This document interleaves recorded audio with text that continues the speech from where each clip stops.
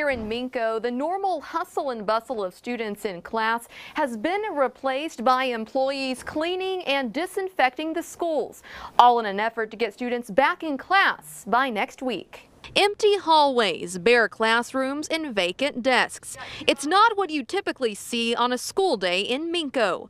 But after an alarming number of kids have come down with the flu and strep throat, the superintendent decided to cancel school for the rest of the week. As the day progressed, we lost 36 students through the day with fever. A total of 136 kids were out sick yesterday. That's 25% of the school population. Instead of those students getting behind or teachers having to reteach the material, Sims decided it would be best to cancel class until kids get well. Employees will spend the next few days cleaning and disinfecting the buildings.